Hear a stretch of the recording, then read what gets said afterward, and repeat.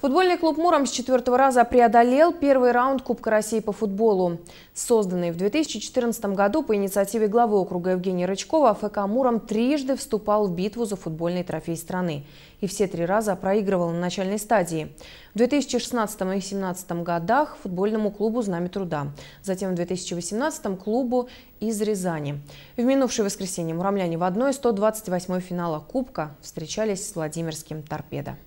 Матч с «Торпедо» также был не из легких. Плотная игра с обилием единоборств была богата на нарушения и желтые карточки. А вот опасных моментов было не так много. На последнем рубеже у муравлян надежно сыграл Сергей Бородин. А в начале второго тайма одну из атак гостей точным ударом завершил Артем Ежов. До конца матча счет не изменился. Впервые в истории муромского футбола наша команда вышла во второй круг турнира. Глава Мурома Евгений Рычков так прокомментировал исход матча.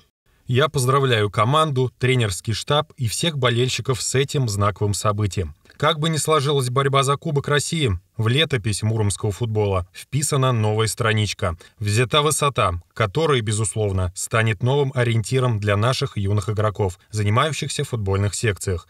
Победа вывела муромлян в одну 64-ю финала Кубка России, где они на своем поле встретятся с очень серьезным соперником московским клубом «Арарат».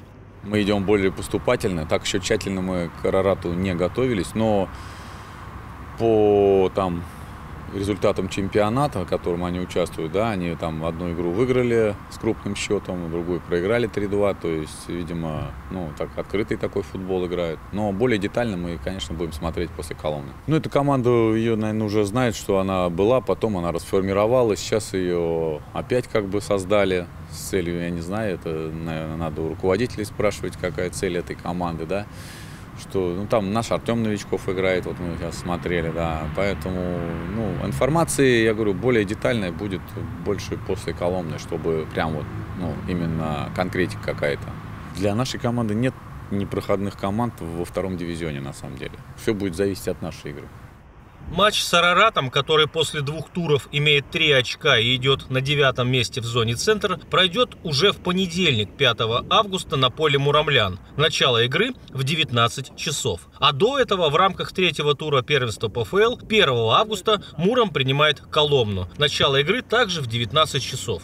Юрий Ренчук, Александр Сиванов. Новости Муром.